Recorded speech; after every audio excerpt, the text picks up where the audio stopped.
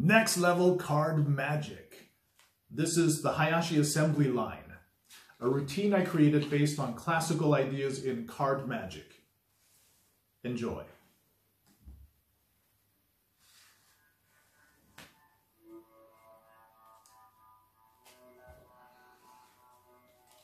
Every time I perform this, people ask me if I can do this with normal cards or if I'm using trick cards.